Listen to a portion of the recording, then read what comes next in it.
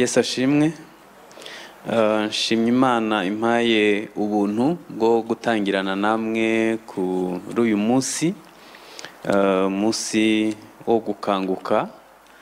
Eh, hanyuma mwagize neza ko mwaje kuba mwaje n'umugisha Eh, ndabashimira abayobozi ko bemeye kunshira kuri uyu munsi. Kubera ko mfite urugendo rw'ivugabutumwa ry'ubumisiyoneri mu bantu batarumva ubutumwa bwiza um, kuva ejo nzaba ntahari. Rero abayobozi banjye barakoze kunyumva hanyuma uh, nagira ngo dusome abaroma cumi na uh, abaroma cumi na gatatu umurongo wa cumi na rimwe. Abaroma cumi na gatatu umurongo wa cumi na rimwe. Ni urupapuro rw'ijana na mirongo itandatu na gatatu. Abaroma cumi na gatatu umurongo wa cumi na rimwe haravuga ngo nuko mujye mugenza mutyo kuko muzi yuko igihe cyo gukanguka gisohoye. Rwose dore agakiza kacu karatwegereye kuruta igihe twizereye. Nuko mujye mugenza mutyo kuko muzi yuko igihe cyo gukanguka gisohoye rwose dore agakiza kacu karatwegereye kuruta igihe twizereye. Amen. Ubundi hakanguka warasinziriye nta muntu eh, ukanguka atabanje gusinzira ariko eh, hari ibyiciro by'abantu bitandukanye ndavuga baba abasenga cyangwa abadasenga ariko ndashaka kubanza kuvuga ku bantu basinziriye. Uyu munsi turi buvuge ku gukanguka ariko mu kintu nabonye ku isi kigoye ni ugukangura uwisinzirije. Umuntu wisinzirije wakubita urugi ibyo wakora byose akwereka ko asinziriye kandi mu by'ukuri aba yumva. Bene uwo rero aragoye gukangura. Ariko umuntu usinziriye bisanzwe nda- ndi buvuge impamvu zitera gusinzira bene uwo gukanguka byamworohera. Hanyuma hari n'abandi bantu rero bakangutse. Icyiciro cya kane ni abantu byarenze gusinzira barapfa. Barapfa kandi bapfa bayigaburo ryera ba- bapfa bahimbaza bapfa babwiriza bapfa imirimo ikomeje ariko ubuzima bwarapfuye. Mu befeso gatanu umurongo wa cumi na kane ni ho handitse iryo jambo mvuze. Haravuga ngo kanguka uzuke ubone, uko kirisita akumurikira. Birenze gukanguka kuko haba hagiyemwo n'urupfu. Pawulo yaravuze ngo niba hari buriya niba hari ikintu ntinya mu nzu y'Imana nubaha ibintu byose ariko hari ibintu nubaha kuruta ibindi. Kurambikwaho ibiganza igaburo ryera umwanya w'ijambo ry'Imana ibyo bintu Imana ntishobora kubiburamo hanyuma Pawulo yavuze ku igaburo ryera aravuga ngo abantu ba- ba- basuzugura bakerensa bapfa kurya igaburo ry'umwami uko babonye. Ngo abo bantu ngo bamwe byabazaniye gusinzira ngo abandi barapfa. Buriya nubona umuntu utinyuka gukora ibyaha uko abonye mu rusengero. Agasambana agakorera imana agakora ibintu byose ukabona ntafite umutima uhana ntahonga mu maso uwo muntu ntabwo aba asinziriye gusa ahubwo aba afite umutima ukomeye cyane ku buryo ashobora no kubipfiramo. Kuko eh, imishinga yanyu muyishoramwo amaraso ariko nyiri umushinga yawushoyemo amaraso. Ama- imishinga yanyu muyishoramwo amafaranga nyiri umushinga yawushoyemo amaraso awukurikiranira hafi. Eh, niyo mpamvu ibye eh, abifuhira hanyuma hano bibiri tubwiye ngo impamvu dukwiye gukanguka ni uko agakiza katwegereye. Urabona iyo umuntu akiza aba afite umutima utinya eh, ndavuga abaje gukizwa ba- ba- ba- ari bwo bwa mbere. Aba afite umutima utinya yubahiriza igihe gahunda zose azibonekamo ariko uko iminsi ishira umuntu atangira gutinyuka. Atangira gutinyuka atangira kubimenyera murabizi ko umuntu amenyera icyo yamenye eh, bikagera igihe akibagirwa n'uko Yesu azagaruka.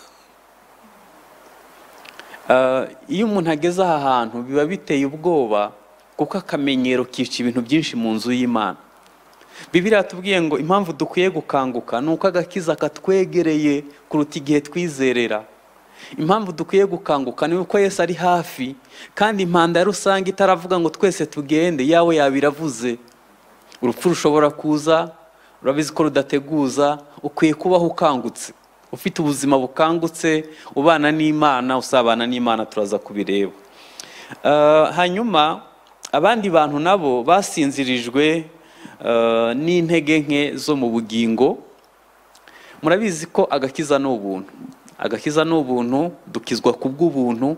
Ariko hirya yo gukizwa hari indi ntambwe dutera yitwa guhinduka ku ngeso. Agakiza ni ubuntu pe. Eh, ni ubuntu imana iduha tugakizwa. Ariko hirya yo gukizwa bisaba ko tubamba ingeso za kamere ku musaraba buri munsi. Noneho iyo wirengagije iyi nzira yo guhinduka no kwezwa bigera igihe za ntege nke zikagutsikamira ukabaho usinziriye. Ah, gukizwa ni byiza ni ubuntu.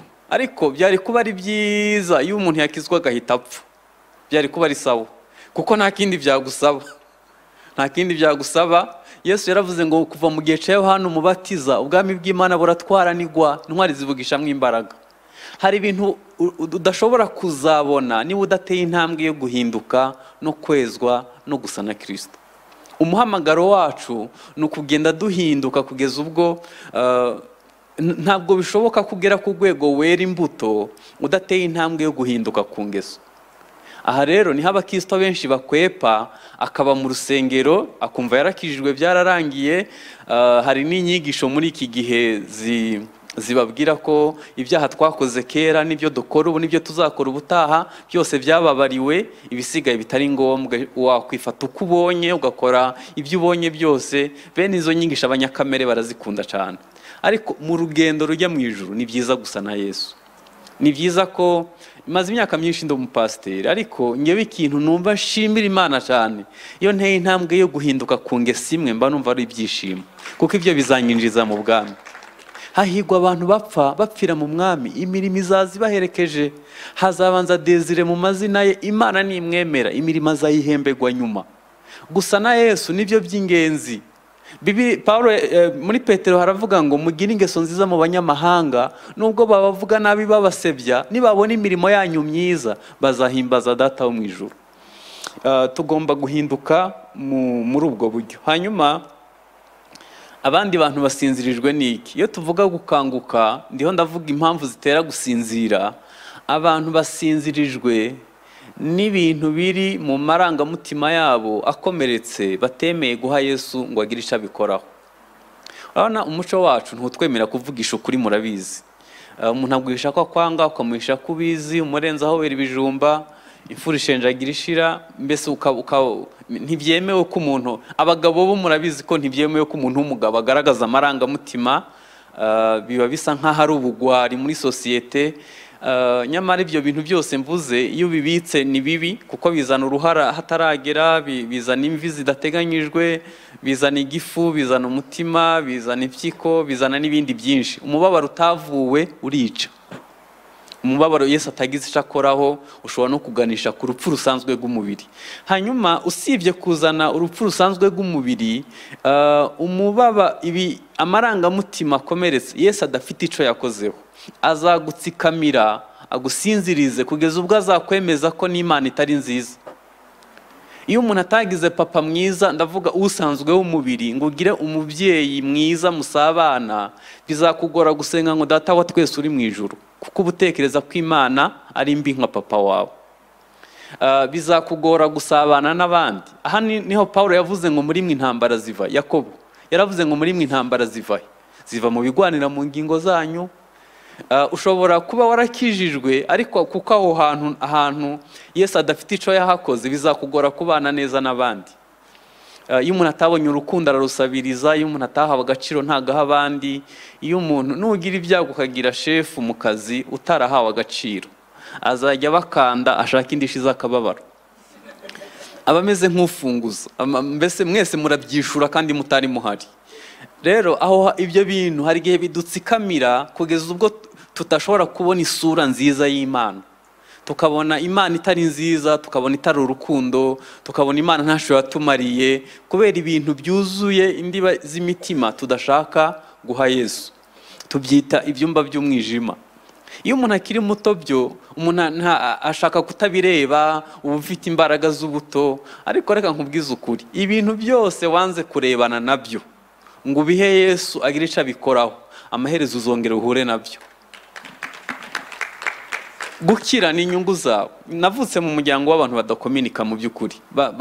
Kominikasiyo y'iwacu yari hafi ya ntayo. Sinigeze mbona. Papa na mama basuhuzanya. Ngewe ariko nakijwe hakiri kare sinshaka gutanga ubuhamya bw'ahantu navuye ni habi cyane urugo rwacu rwari rubi cyane. Ah, hanyuma nkizwa ndi muto nuzura umwuka wera ndegwa n'abakozi b'imana beza numva nuzuye umwuka wera numva nkorera imana sinamenya ko ari ahantu hari ibyumba bikinze ntashaka kurebana na byo. Ejo bundi mu myaka ishize bibiri na kane nkora ubukwe ndongora umukobwa mwiza w'umu um, u- bucura useka kuva ku wa mbere kugera ku cyumweru. Ibyo bibanza kutugora. Nkibaza se mama wanezerewe n'iki nkambwira ngiye nseka ku mibare. Iyo nibagiwe ni bwo nseka. Noneho uraseka gusa. Biratugora kuko nta kintu cyiza nari nzi mu buzima. Ah, hanyuma ikintu cyambabaje ni uko abana baje gutuma mama wabo baramubwira ngo ugende utubwire papa ngo kubera ko udaseka ngo tuba dushaka kuganira nawe ariko niba papa wataragufashe mu ntoki ngo agutembereze mu muhanda ntuzabikorera umwana wawe. Nta muntu atanga icyo atahawe. Bafitiye inkuru nziza muri iki gitondo ibyo tutahawe n'imiryango mu maraso Yesu birahari. Ntabwo dukwiye kwemera kubaho dutsikamiwe n'ubwo buzima ahubwo dukwiye gukingura aho hantu tukabwira umwami ngo eh, tukabwira yesu ngo ube umukiza wacu ariko ube n'umwami wacu. Hanyuma ngiye kubabwira ko hari ikindi kintu gisinziriza muri iki gihe abantu batitaho ariko gisinziriza ni environema environema irasinziriza. Biterwa n'umwuka ugutwikiriwe. Tugeze mu gihe cy'ikoranabuhanga. Ah, aho umuntu agera ku bintu byose bimworoheye. Ariko reka mbaho urugero. Abantu bakoresha telefone mobile mu rwanda ni miliyoni icyenda n'ibihumbi magana arindwi. Abagegwaho na interineti ni miliyoni esheshatu. Ariko ikibabaje u rwanda ni urwa makumyabiri na kane mu bireba porunogarafi cyane. Ntabwo ushobora kurara ura- ureba porunogarafi nijoro hano ngo wuzure umwuka wera ntibivamo ntibikunda. Iyo ubana n'abantu babesha ariyo mvironema mubamo nawe uzisanga ubesha. Nubana n'abantu badasenga abantu batakubwira ati tujye gusenga tujye gushaka mu maso h'imana. Ntuzigere uba umukristo mwiza. Biterwa n'umwuka ugutwikiriye. Iyo uri mu kirere cy'abantu iyo turi mu buhindi mu bantu basenga ibigirwamana hari igihe usenga isengesho ukumva ntirirenga hano. Ukumva hararemereye ukumva ni ikirere kidafungutse kuko ni ahantu hadasengerwa imana nyamana. Bene da biterwa n'ikirere kigutwikiriye. Niyo mpamvu hano nakwinginga uzabane n'abantu babiri ah, umwe uzabane nawe kuko afite icyo akungura uzabane n'ufite icyo wungura cyangwa se ukwigiraho. Abarenze abo uzabi- uzabirinde. Kuko nu- nupfa kubaho gutyo gusa. Uzibagirwa intego y'ubuzima bwawe. Ntabwo tubaho nka- nka- nk'abantu mu isi ntabwo twaje ntabwo twaje gutembera gusa. Turaba imana ituremeye gukora imirimo myiza. Kandi ngo mbibutse ko nituva inaha tuzatanga raporo. Bazakubaza ngo iminsi wamaze iriya wakoze iki? Ni iki wamaze mu bwami bw'imana? Nufata umwanya wawe ukawupfusha ubusa bizakugiraho ingaruka. Niyo mpamvu ukwiye gukanguka ukamenya ko hari ahantu ukwiye guhagarara hanyuma ugakora imirimo myiza yose muri kirisito yesu. Ndashaka kuvuga ibimenyetso icumi bigaragaza umuntu akangutse. Uh, ikimenyetso cya mbere kigaragaza ko umuntu yakangutse ni umwuka wo kwihana. Iyo tuvuze gukanguka umuntu ashobora gukanguka ku giti cye umuryango ushobora kubaho ukangutse itorero rishobora kuba rikangutse n'igihugu gisho- gishobora gukanguka. Ah, umuntu ashobora gukanguka ku giti cye i- umuryango ushobora gukanguka itorero rishobora gukanguka n'igihugu gishobora gukanguka. Hanyuma ikimenyetso cya mbere kigaragaza umuntu akangutse mu mwuka. Ni umwuka wo kwihana. Nubona umuntu atihana gato na kanini. Nubona itorero ritihana uzamenye ko nta kimenyetso cyo gukanguka gihari hari igihe tuza mu rusengero tugasenga tugataha ariko ukabona nta nta nta Uh, ubutumwa bwiza yohana yavuze atangira kubwiriza. Bwaravuga ngo mwihane ubwami bwo mu ijuru buri hafi. Hanyuma yesu nawe atangira kwigisha yaravuze ngo mwihane ubwami bwo mu ijuru buri hafi. Niyo mesaje pawulo nawe yatangiriyeho. Niba tutihana ngo tube dufite umutima utinya imana tube, dufite ubuzima bu- bwezwa nta, kubaho kw'imana kuzaba kuri mu buzima bwacu tuzaba dusinziriye. Yesaya ni umuntu yakoranye n'imana ibintu bikomeye yamaze imyaka irenga itanu ahanura ariko umunsi imana yamwiyeretse yaravuze ngo ndapfuye mbonye imana afite iminwa yanduye n'abo tubana bose baranduye. Imana irera ku kigero iyo ikwiyeretse uhita ubona uri mubi. Nubona umuntu abaho ubwo buzima rero atinya imana yihana uzamenye ko afite ubuzima bwejejwe. Ngewe urusengero nsengeramo hariho ni itorero rinini rifite abantu ibihumbi bibiri ahantu mu gatenga honyine nsengera. Dufite amakorari atandatu iyo ifite abantu bake n'abantu ijana. Ariko maze iminsi ntekereza ku kwihana nkumva ubwoba buramfasha. Hari abantu bambabaza kuruta abandi. Ni abantu baririmba abaririmbyi n'abantu bakora imirimo y'imana mu rusengero. Akenshi ntibagira umwanya wo kwihana. Kubera iki?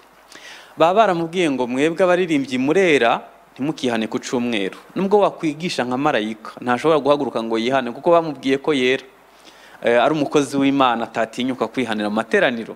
Mu- ku cyumweru tuba dutegereje ba bantu baje ari bwo bwa mbere ko ari bo batsindwa bakihana hari abandi twebwe tuba tuzi ko twungirije imana. Ariko kwihana bireba reperezantare gare bikareba n'uwaje uwo munsi. Kwihana bireba ukize bikareba n'ukenye.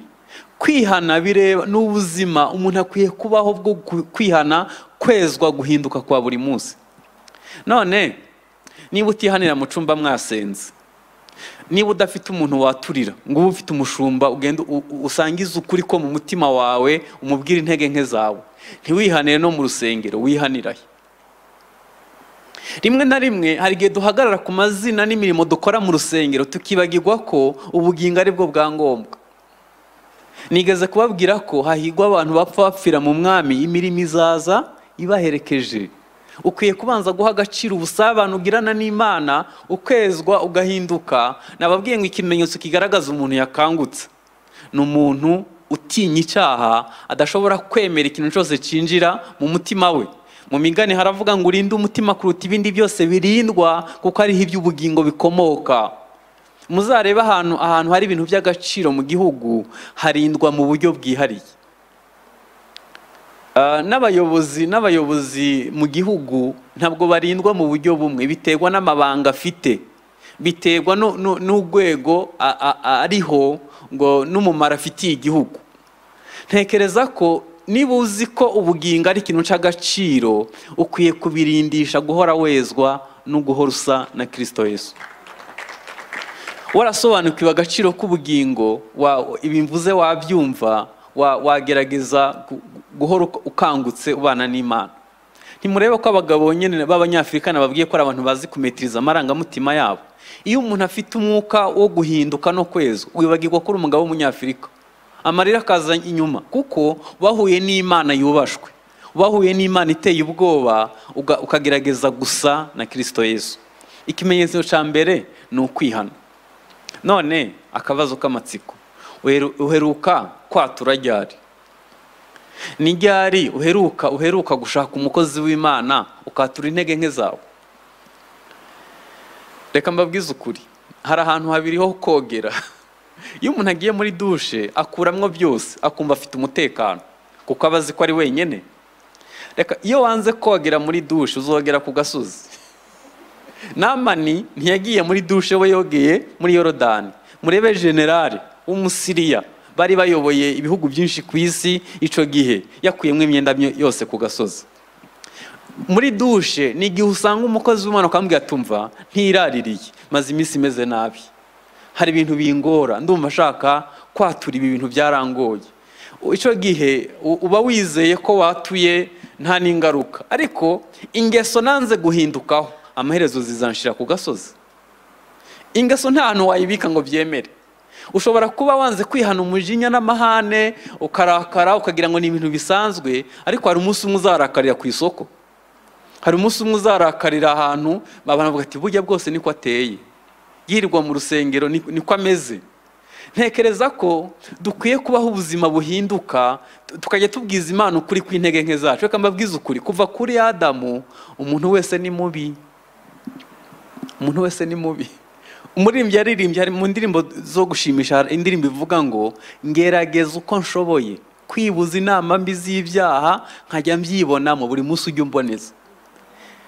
Hari indi ivuga ngo ingeso za wa mubi zihora zishaka kubyuka uzirimbure uzice pe mpore nihariwe n'ibya yesu. Yesu we yaravuze ngo ishami ryera imbuto ajyanganyaho amahage yaryo. Ntangira nababwiye ngo iyo umuntu yaba yakizwa agahita apfa byari kuba ari byiza. Ariko kuko bidusaba kubaho bidusaba guhora duhanganye n'ibishibuka kuri kamere. Ibyo ubwo ni bwo buzima bukangutse nubona umuntu abaho ubwo buzima atabika icyaha mu mutima akora icyaha aga- agahonga mu maso akihana uzamenye ko akangutse. Nagiraga umusore w'inshuti yanjye yari umuntu w'umukristo pe. Namukundira ko afite ubuzima bubana n'imana. Noneho nkumva arampamagara akambwira desire ntabara ntabare. Irukuze ntabare imeze nabi. Nkibaza akoze impanuka habaye iki? Nkiruka nagira akambwira tumva urumva nyine narakariye umuntu. Nkibaza ibyo ni byo umpamagariye ariko naje kumenya ko ibyo ari iby'agaciro mu maso y'imana. Imana ikunda umutima umenetse. Muzasome neza bibiliya. Dawidi yari umunyamakosa kuruta sawuli. Ariko ikintu imana yamushimiye ni umutima wihana. Ah, dawidi yajyaga akora ibyaha imana ikavuga ati dawidi nk'uko inyuma y'intama ejo bundi ibi bintu ukoze ni ibiki? Agahita abwira imana ati mana mu byaha ni ho mama yambyariye. Naremanywe gukiranirwa umuntu nkanjye wamushakiraho ibyiza n'ubundi nageragezaga. Nkurikije aho mvuka ndi mubi. Imana ikavuga ati sawa. Hashira iminsi akongera agakora amafuti. Imana ikavuga ati dawidi nguhanishije ibihano bitatu hitemo kimwe. Akavuga ati umva nta na kimwe mpisemo mpisemo kugwa mu maboko yawe. Unyicire basi. Undi munsi akongera agakora amafuti. Imana ikavuga ati ndakwica ibintu ukoze ntibibaho akavuga ati umva niba imbabazi zawe ziruta ibyaha nakoze ah, niba ibyaha nakoze biruta imbabazi zawe ndemeye unyice. Undi munsi akabwira imana ngo nk'uko umwana yigwandika kuri mama we niko nkwigwanditseho. Imana ikavuga ati mbonye umuntu ameze nk'uko umutima wanjye ushaka. Bene da niki cyatumaza ubwoba? Niki cyatumaza ubwoba ku buryo umuntu akora ibyaha ntiyihane? Gukora ibyaha byo nda- ndabyemera kuko kamere y'umuntu icyaha ariko nanone hari ibyaha tudakwiye gukora nk'abakristo. Ibyaha byitwa ibigambirirano. Ibyaha umuntu ategura amezi atandatu akazanabikora. Bene ibyo abakristo ntibabikora. Kuko bibiri avuga ngo uwabyawe n'imana ntakora icyaha. Ubwo bivuze gute? Iyo umuntu atarakizwa arabipanga akazanabikora. Ariko iyo umuntu amaze gukizwa umwuka w'imana agwaniriza icyaha hirya kitaraba icyaha. Akavuga atoya ibintu ntukabikore. Ukumva umutima ugucira urubanza. Waza mu rusengero ukumva ijambo ry'imana ribivugaho hanyuma ukarekeraho ukumvira umwuka wera. Iyo ukoze icyaha ah, ukwiye no kugira umutima byibuze wihana. Niba mwarasomye agatabo k'umugenzi hari umuntu mukristo ageze kwa musobanuzi yahuye ngo afungiye mu gakaje akantu mu kazitiro.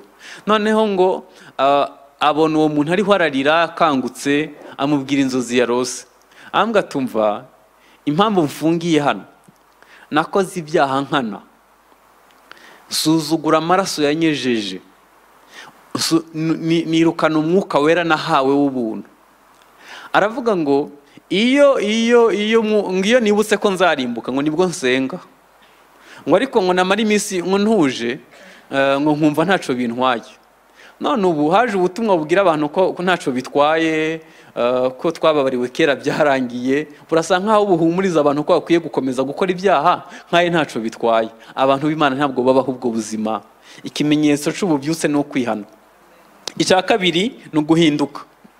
Guhindukira. Niko mu ngoma havuga abantu bitiriye izina ryanjye n'ibihana ba- bagahindukira guhindukira ni determination ni icyemezo umuntu afata akavuga ngo ndahindukiye. Mvuye muri ibi bintu ngiye mu bindi. Guhindukira ah, nanone ntabwo dukwiye guhora duki- dukina umukino wo kwihana no kubisubiramo ahubwo dukwiye gufata icyemezo kidakuka. Tugahindukira. Ukavuga ngo ibi bintu sinzabyongera kubikora.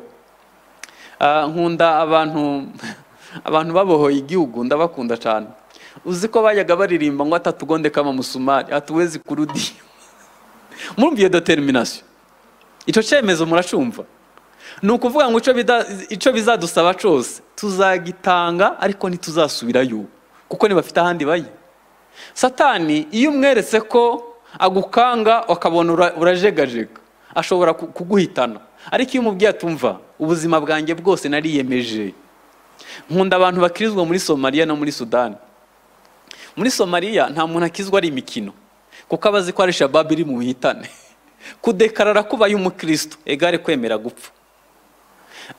Hano hano du- dusenga imiryango ikinguye leta irabyemera ibintu byose biroroshe. Nu- n'uwacunze umukobwa mwiza aririmba muri kora ahita agasengera hano iminsi mike kugira ngo bazamushingire. N'ushaka gusaba akazi umuntu nawe ahita amara iminsi aza gusenga. Ni ibintu bimeze nka gutyo. Ariko hari ahandi kudekarara k'umukristo uba uzi ikiguzi cyabyo. Dukwiye guhindukira. Satani azatinya ko twahindukiye. Ah, tukava mu ngeso zacu mbi. Hanyuma ikindi kimenyetso kigaragaza ko umuntu akangutse ni ukwicisha bugufi. Guca bugufi ni ikintu cy'ingenzi ku mukristo. Satani ubuzima bwe ni ukwishyira hejuru. Hanyuma guca bugufi ni ubuzima bw'abakristo. Reka mbabwize ukuri. Hano muri petero uh, wa mbere gatanu cumi na gatandatu na karindwi haravuga ngo mwese mukenyere ukwicisha bugufi kuko imana igwanya abibone. Abicisha bugufi imana ikabahera ubuntu. Haravuga ngo mwicishe bugufi muri munsi y'ukuboko gukomeye kw'imana na yo izabashyira hejuru mu gihe gikwiriye. Hano iyo wanze guca bugufi uzacishwa bugufi. Kandi gucishwa bugufi biravuna. Muzabibaze nebukandi neza yari umwami yayoboraga ibihugu ijana na makumyabiri na birindwi babuloni y'icyo gihe yayubatse mu buryo bugezweho hanyuma yikomanga mu gatuza aravuga ngo babuloni yanjye umugumpesha icyubahiro imana yumvise itarimwo irababara. Ihita yohereza marayika iramubwira tumva jya kumunyigishiriza. Amukura mu bantu ntibabimenya amutwara mu ishyamba amusigaho. Asiga amukoze ku bwenge ntiyibuka gutaha. Ahamara imyaka irindwi. Inzara zirashokombora imyenda imucikiraho arisha ibyatsi nk'inka. Bibi iravuga ngo imyaka irindwi ishize ngo ubwenge buragaruka ngo areba hejuru ngo ahimbaze ibaho ibihe bitazashira. Aravuga ngo ubu ni bwo nkimenya ko wimika bamugakuraho abandi. Imana avuga ngo ni cyo nashakaga ahita usubira mu bantu. Mu myaka irindwi yari yagiye kwiga akantu gato kavuga ngo imana yimika abami igakuraho abandi. Ibyo twagezeho umugisha twagize imbaraga z'umubiri dufite ntabwo ntabwo dukwiye kubyirata hari ukwiye kubishimirwa. Dukwiye kubaho ubuzima buciye bugufi. Imana yakugiriye neza yarakoze ariko ukwiye kubiyubahira. Ntabwo ukwiye kubikandagiza abandi. Dukwiye kubaho ubuzima buciye bugufi. Urwego rw'umwuka uriho ntabwo rukwiye kugutera ubwibone ngo uhore utunga intoki abandi. Ukwiye kubaho ubuzima buciye bugufi. Kera nigeze gusenga gusenga iminsi itatu. Imbere ikigeragezo we njya kwihana iminsi itatu. Muzi impamvu nagiye kwihana? Nasenze iminsi itatu indemamo ubwibone nari mfite imyaka mike nka cumi n'ine n'itanu. Noneho nabona pasiteri ahagurutse kwigisha nkavuga aratwigisha ko atarasenga itatu. Abaririmbyi bahaguruka kuririmba nkabwira ariko ubu bararirimba iki batarasenga itatu? Itatu imbere ikigeragezo njya kwihana iminsi itatu.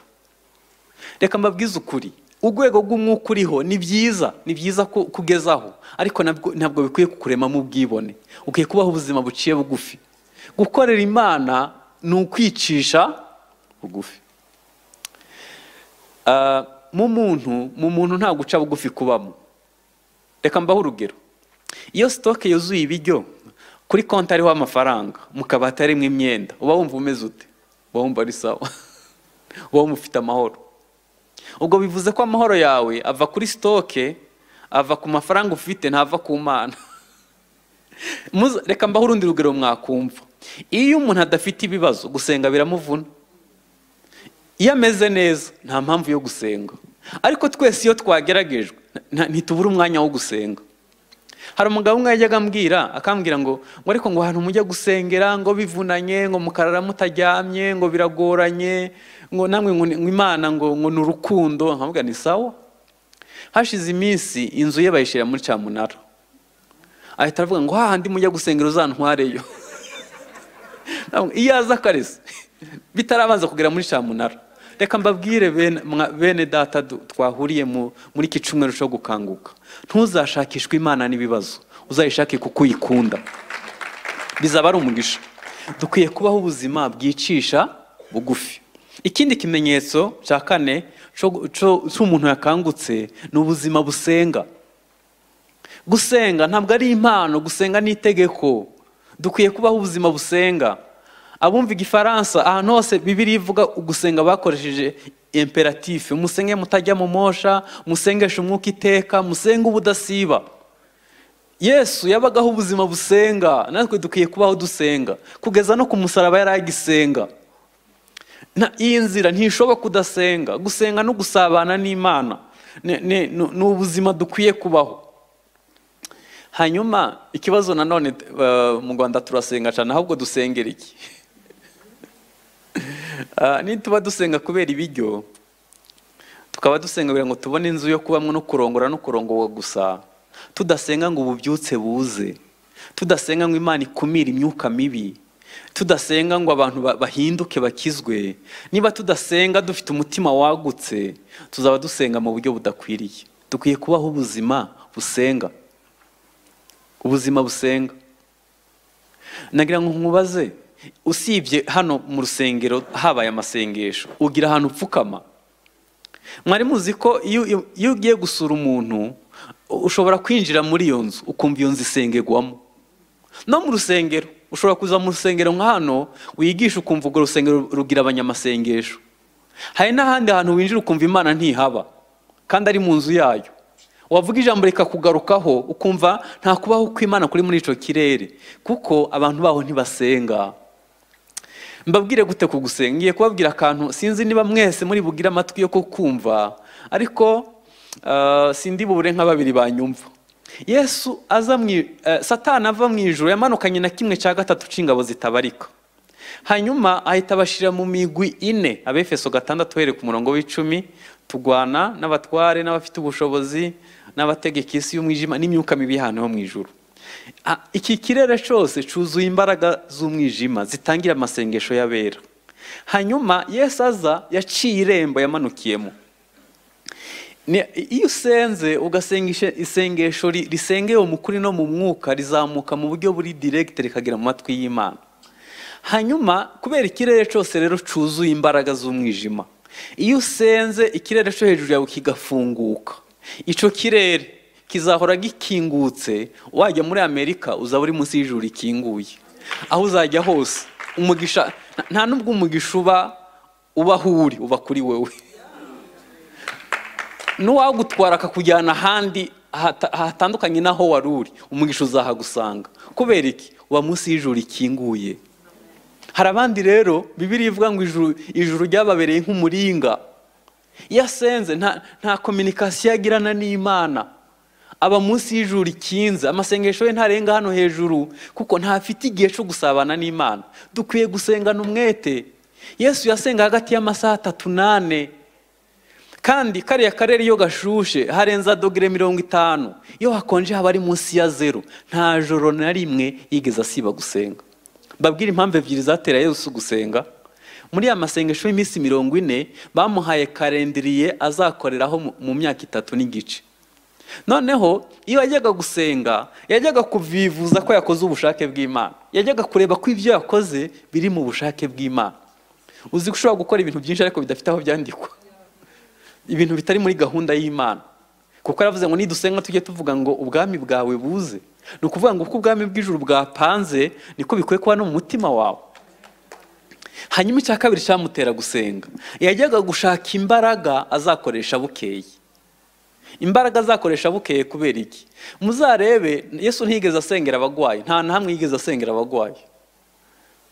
Yabaga imbaraga yazambariye ku musozi yahura n'abadayimoni akabategeka bagahunga kuko yari yam- yambaye imbaraga. None twebwe tugeze igihe dusengera umuntu tukamukubita biriya mu mutwe ntakire. Hari n'abantu abantu bajya mu byumba muzajya mwitonda hari n'aba- n'abantu bahuriyeho n'iyicarubozo bakabatwikisha ipasi bakabakandagiraho bakabanywesha ibintu ngo ibyo bintu ntibisimbura imbaraga ze. Nta cyizere uba wifitiye mu buryo bw'umwuka ugatekereza ko ibyuma bivuga cyane bishobora kwirukana abadayimoni. Dukwiye kwambara imbaraga.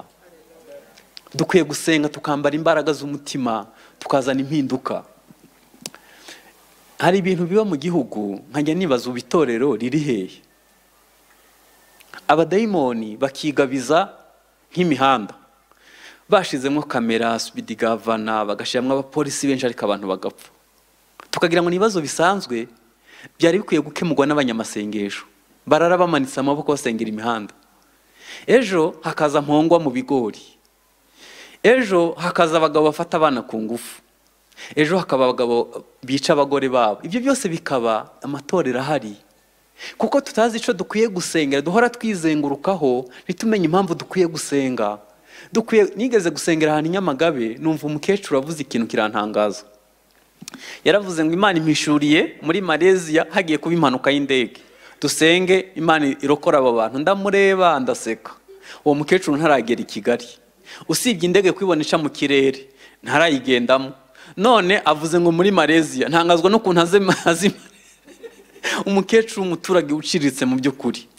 Naratangaye navuye nyamagabe ngeze i kigali nimugoroba mbona kuri televiziyo mu makuru bavuze ko habaye impanuka y'indege muri malaysia. Komenti y'umunyamakuru niyo yantangaje. Yaravuze ngo biratangaje kuba habaye impanuka ngo hagapfamo umuntu umwe gusa. Mirongo irindwi bose bakarokoka. Ubundi ntibibaho impanuka bene y'indege yikubise hasi akenshi irasha. Ariko kuko ari umukecuru w'inyamagabe yasenze imana ikarokora abari muri malaysia. Nidusenga imana izaduha iyerekwa rirenze imigabane.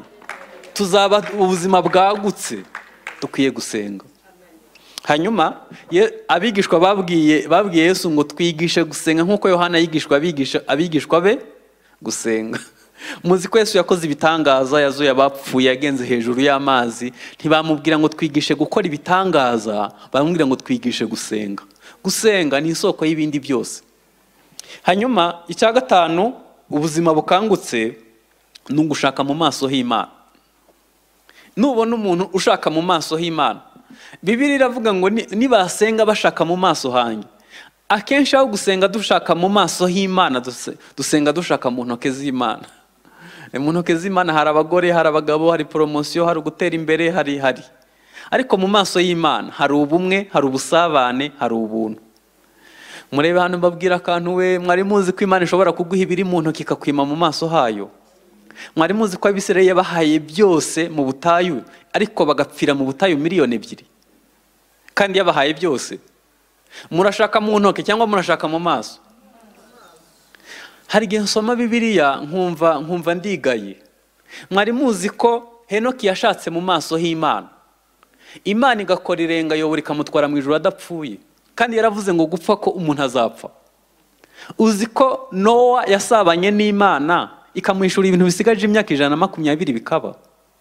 Mwari muzi ko aburahamu yasabanye n'imana yashatse mu maso h'imana kugeza ubwo iti ivuga ngo natinyuka ne kurimbura sodomu ntabwo inshuti yanjye magara aburahamu. Mwari muzi ko mose yagiriye inama imana? Imubwiye ngo reba ijya abantu mbice bangomeye agatanga igitekerezo mu bwami bw'imana akabwira imana ngo nubica abanyegiputa bazaguseka. Nta cubahiro cyawe kirimo bazavuga ngo ibiryo byaragushiranye ubuze icubaho urabica imana irabireka. None dufite iyerekwa ringana n'ibirayi byo mu ruhengeri iyerekwa ringana n'inzu yo kubamo iyerekwa ringana ringana. Ni ukuri muhumure mwese muzajya. Muzarongorwa pe muzarongora muzabaho. Ntabwo u rwanda ruzatera imbere ngo musigare musigare. Nibyo bihangayikisha abayobozi bacu beza b'igihugu. Dukwiye gushaka icisi idatanga tugashaka mu maso h'imana. Yosuwa yigeze guhagarika umuzenguruko w'isi. Abwira izuba ngo hagarara kuri gibeyoni manze nihora abanzi banjye. Imana ihagarika umuzenguruko w'isi. Mariya yabyaye nta mugabo. Hari abantu imana yakoresheje ibintu bikomeye kuko bashatse mu maso hayo. Dukwiye gushaka ubusabane. Nyine abantu barasenga cyane ariko iki- ikibatera gusenga ni ugushaka mu maso h'imana. Muzi impamvu abantu benshi badashaka mu maso h'imana. Uzabirebera mu mpinduka ziba. Haleluya! Ya abantu bashatse mu maso h'imana. Hari ibimenyetso bizagendana nabo. Bazirukana abadayimoni bazavuga indimi nshya nibagira ikintu cisha naco kizabatwara na hato. Bafite ubutware bugendana nabo.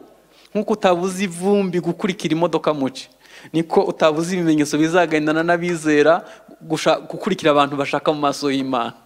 Abo bantu imana ibarinda nk'imboni y'ijisho. Yabaciye mu biganza nk'imanzi. Hari abantu hari abantu imana yubaha yubaha yubaha kuko bayihaye umutima wose n'ubwenge. Eh, abo bantu ntabwo imana yashobora gupfa kubatakaza. Ntuzanamwigabize uwo muntu. Ntuzanamwigabize. Uwo muntu ntuzapfe uko umuvuze kose kuko uwo muntu ni inkoramutima y'imana. Abera bo mu isi nizo mfura imana yishimira. Ah, hanyuma ikimenyetso kindi kiranga ah, umuntu ukangutse cya gatandatu ni urukundo. Ni urukundo. Navuze ko umuntu ashobora gukanguka ku giti cye ashobora gukanguka ari itorero rishobora gukanguka cyangwa se igihugu. Nubona abantu badakunda nubona mu rusengero abantu badakundana uzamenye ko nta gukanguka kuhari. Na gukundana ni, itegeko ry'imana. Ukundisha imana umutima wose n'ubwenge n'imbaraga hanyuma ukunde mugenzi wawe nk'uko wikunda. Mumbwize ukuri mumbere abanyakuri twaje gusenga. Ubu mubona abantu bakundana. Iyo umukene yakoze ubukwe bubura ababutaha. Iyo umukire yabukoze twese turaboneka. Umukene aragwara akazarinda akira ntawe abimenye umukire iyo yagwaye twese tujyayo. Ah, ubuzima tubaho hari abantu mu rusengero babana babana kuko banganya ubushobozi. Hari umuntu adafite uwo abana nawe. Kandi yesu yaravuze ngo nari nshonje nari umushyitsi nari nambaye ubusa nari mfunzwe. Aravuga ngo uworoheje hanyuma y'abandi mwabikoreye. Ni njye mwabikoreye. Uzakorera umugisha ku muntu. Ni byiza kubana n'abantu bose. Ariko uzakorera umugisha ku muntu atazabikwitura kuko hari igihe twiguriza. Iyo ugiye gusura umuntu yabyaye kuko nawe aza- azaza kuguhemba wabyaye uba wigurije. N'ubundi bazakwishura. Ariko hari undi yakwicara mu ntebe z'iwawe agahita ajya gutanga ituro ry'ishimwe. Akavuga ati imana yanyi- yanyicazanije n'abakomeye isohoje isezerano. Wakoreye umugisha kuba ameze gutyo. Abo bantu ukabakoreho umugisha ko bahari. Kandi ko abakene aho batuye tuhazi. Ahubwo turikunda ku kigero ku kigero giteye ubwoba. Bazaba bikunda badakunda ababo hanyuma bibiliya iravuga ngo mu minsi imere urukundo rwa benshi ruzakonja. Mu byahishuwe haravuga ngo wakoze byose nizako mfite icyo nkugaya ni uko waretse urukundo rwawe rwa mbere. Muri turukiya iyo tuhasuye ahantu hahoze amatora arindwi ya efeso ubu hasigaye ibisigazwa bya fondasiyo y'ahahoze amatorero ya efeso. Reka mbabwire ikintu mpagaze ku maguru yanjye abiri. Ntimureba ko dufite amatorero menshi mu gihugu. Nitutagaruka ku rukundo rw'abana b'imana. Hari igihe ubukristo buzasigara ari amateka bivuga ko higeze kubaho abakristo ariko batakihaba. Kuko hari bagenzi bacu ntashaka kuvuga mu izina nibo basura cyane ku bitaro nibo ba- bakora imirimo y'urukundo kuruta abandi bantu bose bo bazi icyo gukora. Bazi ko urukundo rushobora kuzana umuntu kuruta kumubwira amagambo gusa. Imana iduha urukundo. Hanyuma ikindi kimenyetso kigaragaza ko abantu bakangutse ni ukugira ubumwe bw'abana b'imana. Bari bateraniye hamwe bari mu mwanya umwe bahuje umutima. Nitugira ubumwe bw'abana b'imana. Nubona abantu bari umwe umwuka we arashobora gukora imirimo ikomeye. Abantu babiri nibahuza umutima gusaba ikintu data wa twese azagikora. Niduhuza umutima gusaba ikintu icyo ari cyo cyose imana izagikora. Dukwiye icya karindwi dukwiye kugira ubumwe bw'abana b'imana. Bari bateraniye hamwe bari mu mwanya umwe bahuje umutima umwuka wera aramanuka. Nagira ngo mbabaze. Ubu duhuje umutima ku kigero imana yadusukira umwuka wera. Nuba umwe n'umugore wawe. Imana izabakoresha ibintu bikomeye. Nuba umwe nu- nu- nushobora kuba umwe n'abana bawe. Uwo muryango satani ntazabona aho amenera. Nituba umwe nka korale tukaba umwe nk'itore tukagira ubumwe nka- nk'abizera. Eh, ubundi ntitwari dukwiye kugira ibintu byinshi dupfa. Kuko ah, nubwo twagira umuzareba umu- umu- ikimenyetso cy'umusaba ukuntu giteye. Hari agiti gitambitse ni ugukuramo hanyuma iyo ushizemo igihagaritse ni uguteranya. Dufite ibintu byinshi byadutandukanya. Ariko iyo wese agiyemwo bihinduka guteranya. Byose bihinduka umugisha. Ntuzagire usuzugura kubera ufite ibyo umurusha. Oya uzamenye ko mukwiye kuzuzanya. Mu bumwe bw'abana b'imana ni ho imbaraga z'imana zikorera. Hanyuma icya munani ni ugukorera imana. Gukorera imana ntabwo ari mu rusengero gusa ahubwo ukwiye gukorera imana no muri bizinesi yawe n'aho utuye. Hari umuntu umwe imana yahaye inzu ahantu ikibagabaga. Hanyuma ah, ikintu yakoze cya mbere yahise ajya mu muganda asaba nimero za telefone abantu bose batuye muri uwo mudugudu. Hanyuma arabatekera. Abahamagara iwe arabakira arababwira ngo ngo mbamenyeshe ko nje kuba umuturanyi wanyu. Kandi ngewe imana yampamagariye umurimo w'ubushumba. Rero tuzajya dufatanya gusenga. Ubu muri uwo mudugudu hari fellowship ikomeye ikomeye kuko haje guturamo umuntu w'imana. Iyo haje ibibazo barazamubwira pase dusengere umwana yagwaye dusengere twa- dusengere dusengere. Bazi ko hatuye umuntu w'imana. None wowe ahantu nigeze kujya kureba umushefu mu mujyi hanyuma mpageze ah, nsanga umuririmbyi w'iwacu nihakora. Ndangije mbanza gusuza umuririmbyi wanjye nishimye mbona boss agize iseseme. Mbona arababaye yahindutse mu maso. Mugezeho arambwira ngo uriya muntu murazinanye nti? Ambwira amakosa ye nibagiwe icyari kinjyanye. Kubera ko ntiyera imbuto aragorana. Mu rusengero aririmba nka rusiferi ataragwa. Ariko ku kazi si umuntu w'imana. Bene dukwiye kwiga kwera imbuto. Ukerera imbuto umukozi wo mu gikoni. Nawe nawe yaje gukora akazi siyo mahitamo. Ye, yavukiye amezi icyenda. Ukwiye gusiga umwereye imbuto hanyuma ukaza mu rusengero. Hanyuma ukwiye no gukora imirimo myiza mu nzu y'imana. Hano umuntu wese yandikisha ku izina rye. Ntabwo bakwiye kuguhatira gutanga icya cumi. Ntabwo bakwiye kuguhatira ukwiye kumva ko ukwiye gukorera imana. Turi abo yaremye turemeye gukora imirimo myiza yose kandi ikorewe muri kirisito mu isi ntabwo turi ba mukerarugendo ntabwo twaje gutembera. Twaje gukora imirimo myiza. Kandi ntabwo ntabwo gupfa kera cyangwa vuba ari byo bifite icyo bitwaye. Yesu yapfuye ku myaka mirongo itatu n'itatu. Ariko apfa avuze ngo ibyo gucungura abantu ndabirangije. Ari embuti ibintu byose yakuye mu ijuru byose abidusigiye. Nushaka uzapfe vuba cyangwa kera ariko upfe imi- misiyo imana yaguhaye uyirangije. Upfe mu byo imana yaguhaye mu isi kuzana mu isi nta na kimwe usubijeyo. Kurama ngewe simfite ubwoba bwo gupfa. N'ubundi iyo ngiye mu misiyoneri simbazi ko nzagaruka. Ariko nyasenga mbwira imana ngo mana uzampe gupfa ntareba inyuma yanjye ngo nicuze. Ibyo wandemeye gukora byose mbirangije. Ni iki ukorera imana? Ni iki ukorera imana? Nakijwe mfite imyaka icumi. Ku myaka cumi n'itatu bantangaho kimwe mu icumi mpita njya kubana n'abamisiyoneri. Twe twatangiye amatorero i burundi duhera munsi y'igiti. Tukabona abana baragiye ihene ejo hakazaza abamama babo twabona abantu mirongo itatu tukabasigaho tukajya gufungura irindi torero mu kandi karere. Baduha ikibanza ahantu tukagisiza n'amaboko umuntu wese aje gusenga akaza yikoreye ibuye akaba ariyo dukoresha fondasiyo. Ntabwo twashobora twese ntawari yambaye inkweto.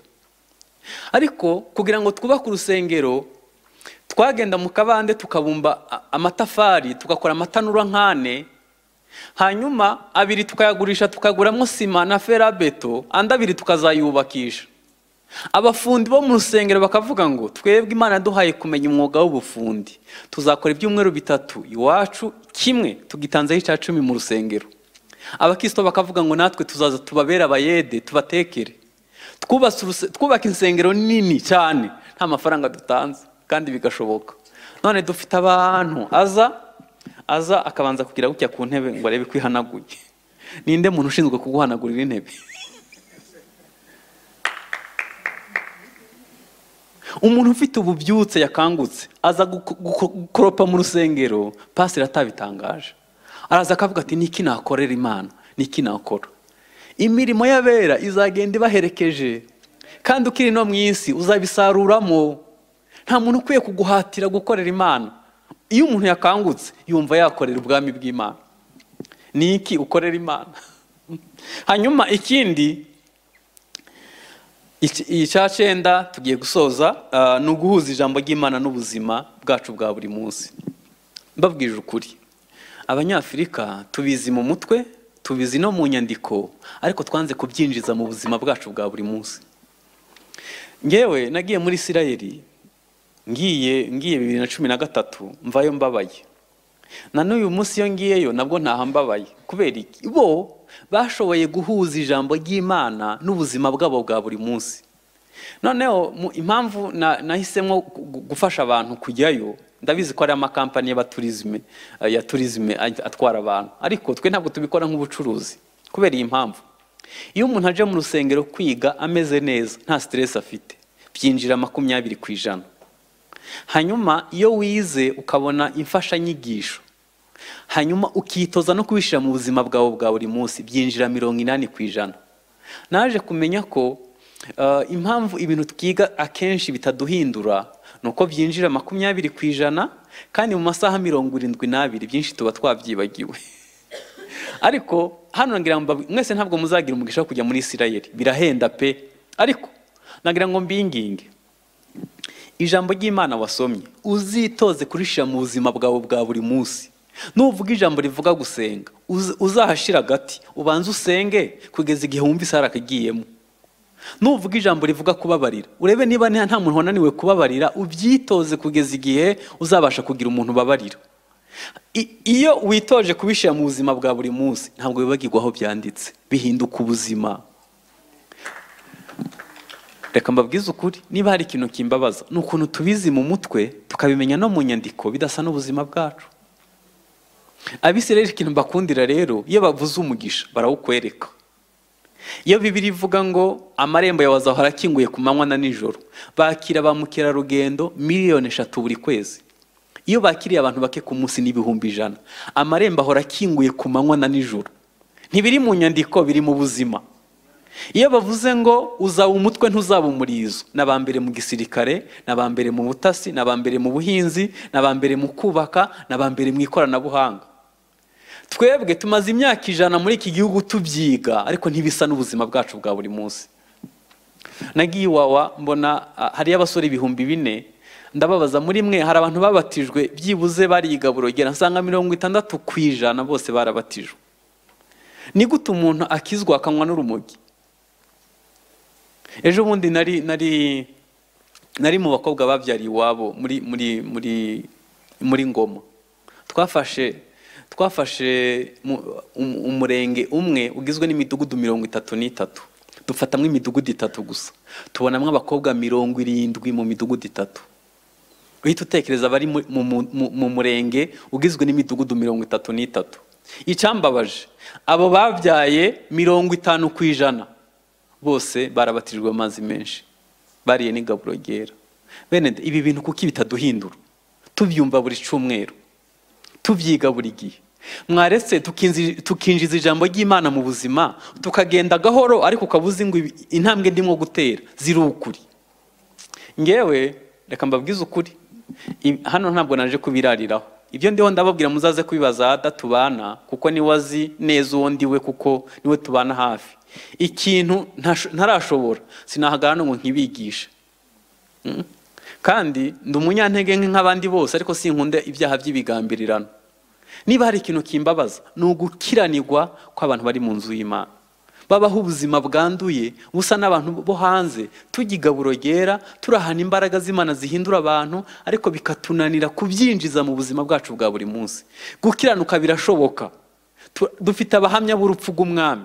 Ibikigutsinda hari abandi babitsinze. Imbaraga zabafashe nawe zagufasha. Ukwiye kwisunga iyo mana ikaguha imbaraga zatsinda kamere. Ni ukuri birashoboka.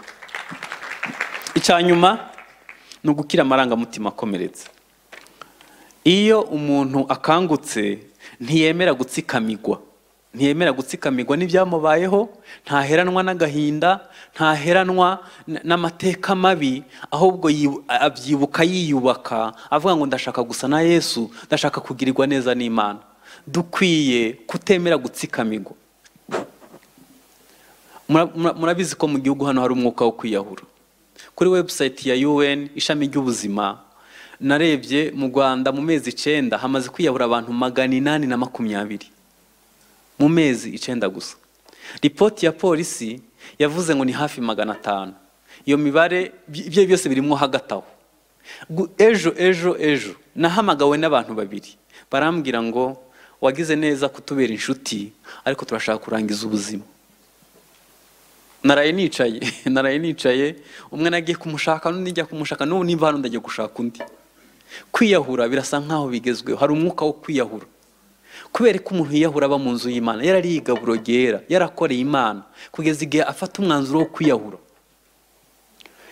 Yaraje arasenga ariko aba atsikamiwe arabyirengagiza ntiyibuka kubiha yesu bigera igihe bi- bi- birasandara. Bene da nta bintu yesu atakiza. Yaravuze ngo mwese abarushe n'abaremerewe muze musange ndabaruhura. Gusa ya- yahamagaye abashobora kwemera kuruhurwa nawe? Reka kwigwariza bimukorere afite icyo yabikoraho. Kandi uzabaho uruhutse. Ni ukuri nanjye narakomeretse nabayeho nabi. Nababwiye ko naseka ari uko nibagiwe. Ariko ubu ndaseka bikemera. Ntibita biza ako kanya ariko urabyitoza. Ukitoza kubaho udatsikamiwe n'amateka. Ubuzima buraryoshe. Kubaho ukorera imana ni byiza. Hanyuma naguhamagara azaguhamagara ahageze ariko utiyahuye. Hanyuma nsoreje kuri iri jambo dukwiye kureka gukanguka kukagera mu bice bitatu mu mwuka mu bugingo no mu mubiri. Tubeho dukangutse mu mwuka turi itorero rikangutse tubeho mu bugingo tudatsikamiwe n'amarangamutima akomeretse dukoresha ubwenge bwacu neza amahitamo yacu tuyakoresha neza hanyuma mu mubiri dukora ibyo twagomba gukora kugira ngo ibihe byiza bibone uko biza. Imana izabana natwe kandi nta cyiza na kimwe izatwima. Nifuza ko dusenga.